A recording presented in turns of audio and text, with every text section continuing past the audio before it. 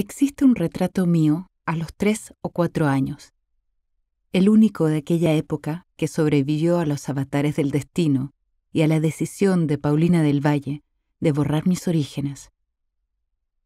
Es un cartón gastado en un marco de viaje, uno de esos antiguos estuches de terciopelo y metal, tan de moda en el siglo XIX y que ya nadie usa.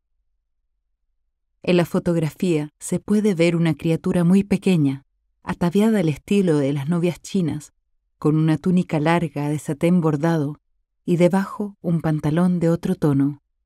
Va calzada con delicadas zapatillas montadas sobre fieltro blanco, protegidas por una delgada lámina de madera.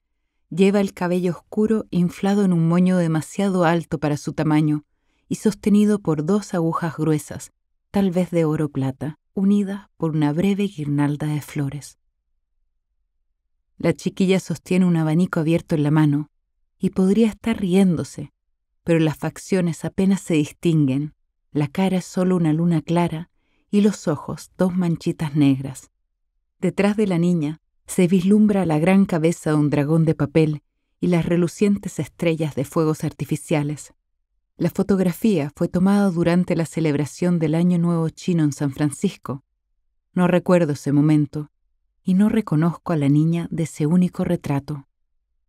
En cambio, mi madre, Lynn Somers, aparece en varias fotografías que he rescatado del olvido con tenacidad y buenos contactos, Fui a San Francisco hace unos años a conocer a mi tío Lucky y me dediqué a recorrer viejas librerías y estudios de fotógrafos buscando los calendarios y postales para los cuales posaba.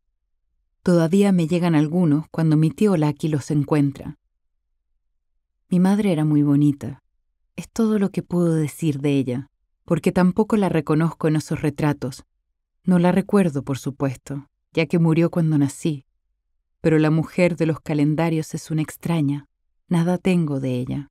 No logro visualizarla como mi madre, solo como un juego de luz y sombra sobre el papel. Tampoco parece hermana de mi tío Laki.